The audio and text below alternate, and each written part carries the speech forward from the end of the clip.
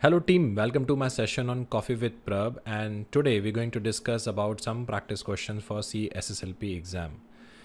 In this video, I have made some self-paced questions which basically help you to think like a manager and definitely this video is very useful for your CSSLP exam preparation.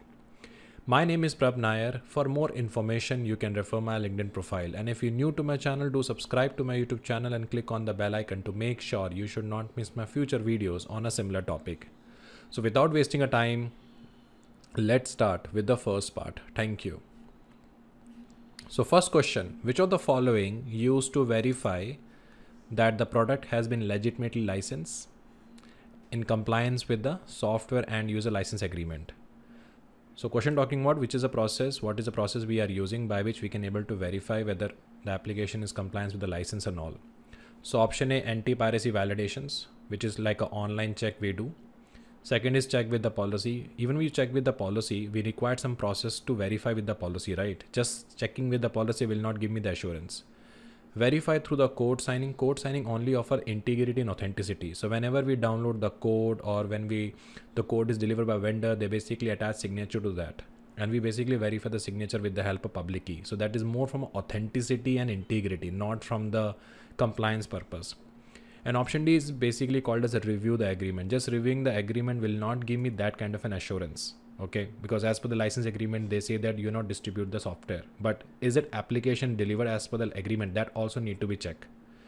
So we have one solution which is called as a anti-piracy validations. It is an online check or whenever you basically up, take updates and all that, the vendors will basically scan your application, look whether your application is compliant with their policies, and according to that only they will accept and download the updates. So anti-piracy validation is basically is a very important process, very important technology that is used to check the online validation of an application. And that is why I'm going with the A. And A cover your B, C, and D also. Okay. So sure, I'm sure you have noticed sometime when you're registering some applications and all that, it asks for the online registrations. When you're looking for the updates, they're asking about connect with the server. So when you connect with the servers, this anti-piracy validation is basically check whether application is compliance with their license agreement. And if yes, they automatically get the requirement, they automatically approve that particular updates. So anti-piracy used from that point of view. So let's move to the next coffee shot. Thank you. Okay, so which solution primarily address buffer overflow in the application. Buffer overflow is basically a kind of an attack where we overflow the memory. That is why we basically use the, like, you know, we have a memory protection to prevent the buffer overflow. So buffer overflow is all about overflow the buffer and gain access to system. And to that we have a further access. So question talking about what is a solution we can basically use to address the buffer overflow in the application, which is a very common issue.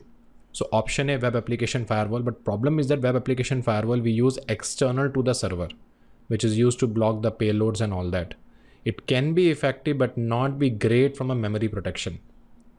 Second is called as a ASLR, definitely address space layout randomization uh, is actually used against the buffer overflow by attacking uh, by by randomizing the location of a different part of a program in the memory so when talking about ASLR, it moves this function's entry point around in the memory. So they are unpredictable locations. It is also a feature of a most recent OS that make it difficult for the attacker to guess the memory because we need to understand how buffer overflow happen. We look for the free memory and from there we try to execute the functions. Okay, so a ASLR allocating a random space, which is difficult for the attacker to predict. So that is why it is a very good control to prevent the buffer overflow. Third part is called as a runtime self-protection. It is more about from a testing point of view. Like whenever any kind of a modification attempt, any kind of a changes happen in the application, it notify.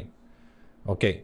And last is called as a data execution prevention. See, DEP mark the memory region which is allocated by the wrapper as a non-executable. And it basically prevent the shell code that would be injected by the malware to be executed. That is more from a system security point of view, not from a memory protection point of view.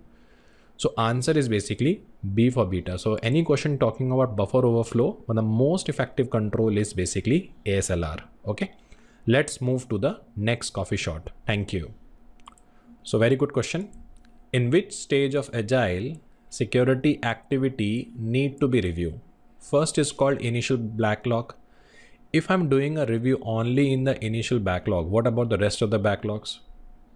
During a delivery of module, but it will be very late. Every sprint makes sense. In every sprint review, we review the security functions. Only during a deployment will be more expensive. So answer is basically C for Charlie. In every sprint, we need to do the security review because if you introduce the security as early and review in every phase, it can basically save cost and time. Okay. That is why I'm going with the answer C for Charlie. Let's move to the next question. You join the organization as an application security consultant. You have discovered that every team has its own strategy, has its own strategy and function to drive the application security in the organization. Senior management is also not happy with this process. They want to make the process more uniform. Which solution will you recommend implementing the organization to address the application security management issue? So I join as a company, I join as a CISO or I join as an application security consultant in the company and I've discovered different different people are using a different different strategy. So I want a uniformity. Okay, for the security point of view, and the question is finishing and terminating at the application security management.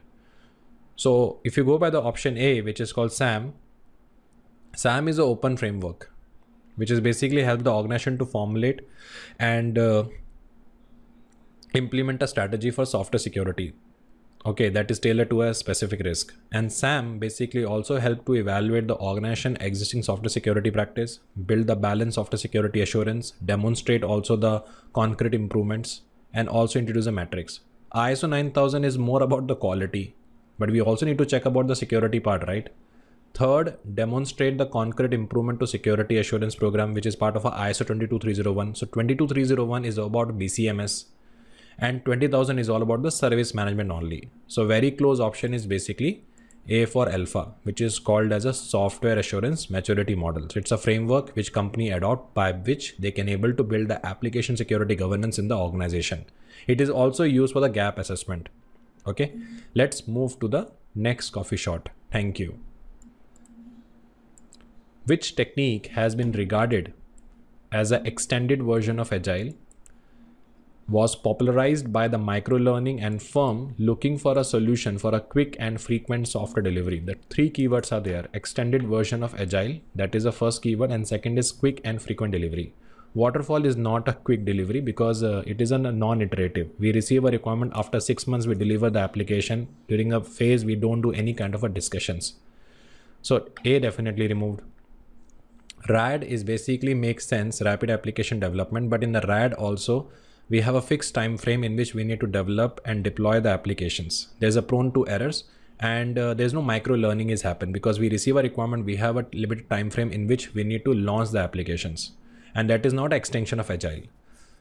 Now left with B and C. Extreme programming is a detailed methodology which opposite of this principle. So only thing which is left is DevOps. In DevOps, what happened for every code module, whatever we release, we have a quality review from the operations and whatever the gap they identify, immediately they notify. So it is the extension of agile only. That's why the answer is C, DevOps.